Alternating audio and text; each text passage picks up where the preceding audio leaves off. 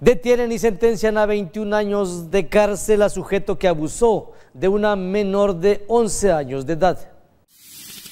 Se hizo justicia la mañana de este viernes 6 de diciembre cuando la Fiscalía General del Estado diera a conocer que logró que el juez dictara sentencia de 21 años de cárcel para Flavio Paulino, quien en meses anteriores había cometido en varias ocasiones el delito de violación. Y es que, de acuerdo a la causa penal 180 diagonal 2017, toda vez de que la representación social de esta fiscalía acreditó que Flavio Paulino N. agredió en su seguridad sexual a la víctima de entonces 11 años de edad, además de amenazarla con matar a su papá y a su mamá si denunciaba su conducta ilícita. Luego de escuchar los testimonios y argumentos por parte del Ministerio Público, el juez de enjuiciamiento consideró penalmente responsable a Flavio Paulino N